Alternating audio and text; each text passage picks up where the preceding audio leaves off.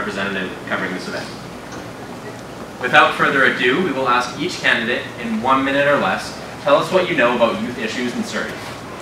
You can start anywhere that you like. the home, to get the food, to get everything you need for your future and your own sustainable independence.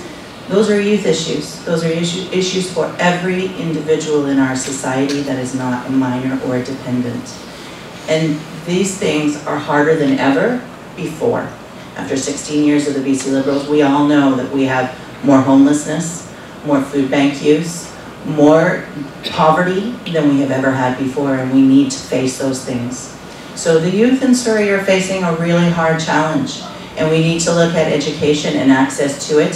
We need to look at housing. Where can you live that affordably, safely, and where can you get the education and the jobs in the future? Where are you going and what can you do to get there and have a better life? And it's important that we all know that this is not an easy question. It's not a question that we can ignore. It's been ignored for far too long. So it's not just at the precipice of adulthood, where are you going and how do you get there? But how do we get you there?